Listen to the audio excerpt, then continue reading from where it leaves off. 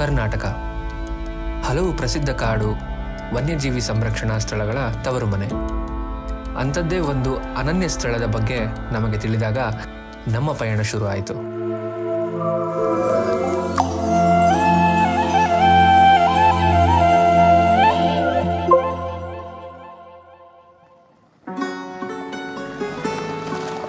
ನಮಸ್ಕಾರ ಕರ್ನಾಟಕ, ನಾವು ನಿಮ್ಮನೆ ಹುಡುಗರು ರಾಹುಲ್ ಹೇಮಂತ್ ಗಣಿ.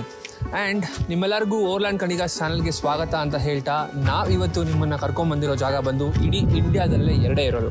ಅದರಲ್ಲಿ ಒಂದು ಜಾಗದಲ್ಲಿ ನಾವಿದ್ದೀವಿ. ಸೊ ಬನ್ನಿ ಈ ಜಾಗದ ಬಗ್ಗೆ ಮತ್ತೆ ತಿಳ್ಕೊಳ್ಳೋಣ. ಆ್ಯಂಡ್ ಆಲ್ಸೋ ಇನ್ನೂ ಡೀಟೇಲಾಗಿ ಹೇಳ್ತಾ ಹೋಗ್ತೀವಿ ಅಂತ ಹೇಳ್ತಾ let's go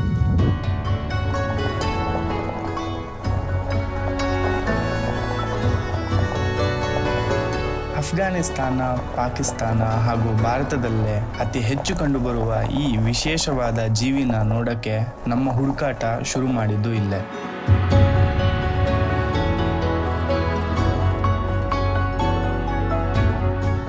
black bug Indian antelope, ಕೃಷ್ಣಮೃಗ. ಆಫ್ಘಾನಿಸ್ತಾನ ಹಾಗೂ ಪಾಕಿಸ್ತಾನದಲ್ಲಿ ಈ ಜೀವಿ ತೊಂಬತ್ತು ಭಾಗದಷ್ಟು ನಶಿಸಿ ಹೋಗಿದೆ. ಆದರೆ ಭಾರತದಲ್ಲಿ ಈ ಜೀವಿನ ಸಂರಕ್ಷಿಸೋಕೆ ಅಂತ ಇರೋ ಕೇವಲ ಎರಡೇ ಎರಡು ಜಾಗದಲ್ಲಿ ನಮ್ಮ ಕರ್ನಾಟಕನೂ ಒಂದು. ಕರ್ನಾಟಕದಲ್ಲಿ ಈ ಬ್ಲ್ಯಾಕ್ ಬರ್ಗ್ ಕನ್ಸರ್ವೇಷನ್ ಇರುವಂತಹ ಜಾಗಗಳು Ranebennur, Honnikere black burg sanctuary ಒಂದಾದ್ರೆ, ತುಮಕೂರು ಡಿಸ್ಟ್ರಿಕ್ಟ್ ಮಾದೇನಹಳ್ಳಿಯಲ್ಲಿರೋ ಜಯಮಂಗಳಿ ಬ್ಲ್ಯಾಕ್ ಬರ್ಗ್ ಕನ್ಸರ್ವೇಷನ್ ಕೂಡ ಒಂದು. ಸಾವಿರದ ಒಂಬೈನೂರ ಎಂಬತ್ತೇಳರಲ್ಲಿ ಹ್ಯೂಮನ್ ಹ್ಯಾಬಿಟೇಷನ್ ಆ್ಯಂಡ್ ಇಂಡಸ್ಟ್ರಿಯಲೈಸೇಷನ್ ಶುರುವಾದಾಗ ಕರ್ನಾಟಕ ಫಾರೆಸ್ಟ್ ಡಿಪಾರ್ಟ್ಮೆಂಟ್ ಹಾಗೂ ಹಲವು ಪರಿಸರವಾದಿಗಳು ಸೇರಿ ಎರಡು ಸಾವಿರದ ಏಳರಲ್ಲಿ ಈ ಎಂಟುನೂರ ಮೂವತ್ತು ಎಕರೆ ಜಾಗನ ಗವರ್ನಮೆಂಟ್ ಫೆನ್ಸಿಂಗ್ ಹಾಕಿ ಕನ್ಸರ್ವೇಷನ್ ರಿಸರ್ವ್ ಅಂತ ಅನೌನ್ಸ್ ಮಾಡಿದ್ರು.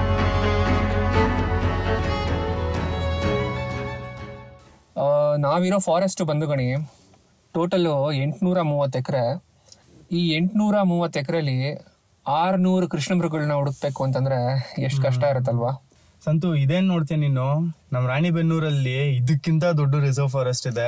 ಅಲ್ಲಿ ಇದಕ್ಕಿಂತ ಜಾಸ್ತಿ ಬ್ಲ್ಯಾಕ್ ಬಗ್ ಸಿಗುತ್ತಂತೆ.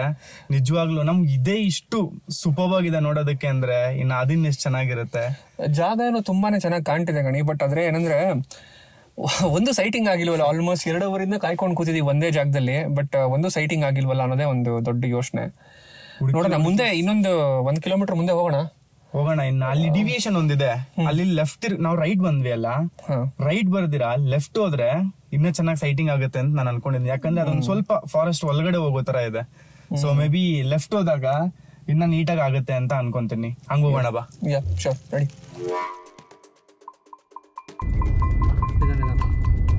ಆಲ್ಮೋಸ್ಟ್ ಎರಡವರಿಂದ ಹುಡುಕ್ತಾ ಇದೀವಿ. ಒಂದು ಕೂಡ ಸೈಟಿಂಗ್ ಆಗಿಲ್ಲ. ಸೊ ಇದರಲ್ಲೇ ಅರ್ಥ ಆಗುತ್ತೆ ಅಂತ ಅನ್ಕೋತೀನಿ. ಎಷ್ಟು ಕಮ್ಮಿ ಆಗಿದೆ ಇದರ ಸಂತತಿ ಅಂತ ಅಂದ್ಬಿಟ್ಟು ಮುಂದೆ ಮುಂದೆ ಇಲ್ಲೇ ಸ್ಟಾಪ್ ಮಾಡಿ.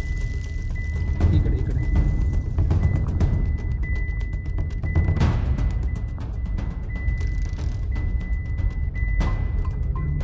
ಸೌಂಡ್ ಇಲ್ಲ ತಾನೆ ಬಂದಿದ್ದು? ಬಂತು ಸೌಂಡು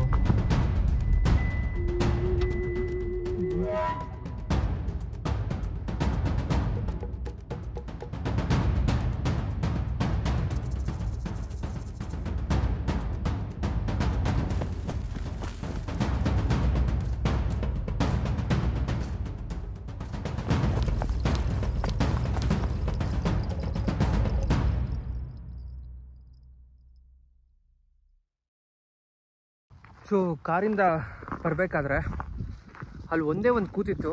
ನಾವು ಹತ್ತಿರ ಹೋಗ್ತಿದ್ದಂಗೆ ಎದ್ದು ಓಡೋಗೋಯ್ತು. ಸೊ ಅದಕ್ಕೆ ಅದರ ಟ್ರೈಲ್ನ ಹಿಡ್ಕೊಂಡು ಅದರಿಂದನೇ ಹೋಗ್ತಾ ಇದ್ದೀವಿ ಸೊ ಬಾಯ್ಸ್ ಎಲ್ಲ ಅದೇ ಸರ್ಚಿಂಗಲ್ಲಿದ್ದೀವಿ ಅಂತ ಹೇಳ್ಬೋದು. ಸೊ ನೋಡುವ. ತುಂಬ ಡಿಸಪಾಯಿಂಟ್ಮೆಂಟ್ ಆಗ್ತದೆ. ಯಾವುದೂ ಒಂದು ಕಾಣ್ತಿಲ್ಲ ಅಂತ ಅಂದ್ಬಿಟ್ಟು.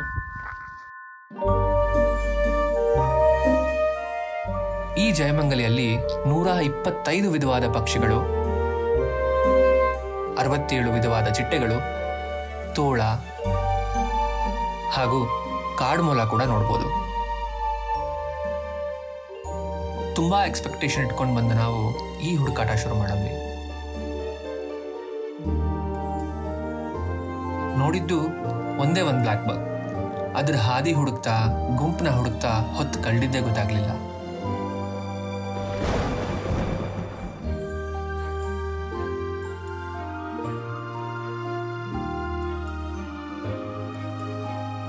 ರಾತ್ರಿ ಕೂಡ ಕಾಯ್ತಾ ಕೂತಿದ್ವಿ ಸಿಗ್ಬೋದು ಅಂತ. ಆದರೆ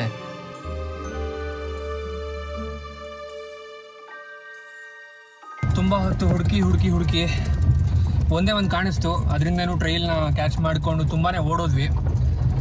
ಆದರೂ ಒಳ್ಳೆ ಸೈಟಿಂಗ್ ಅಂತೂ ಆಗಲಿಲ್ಲ.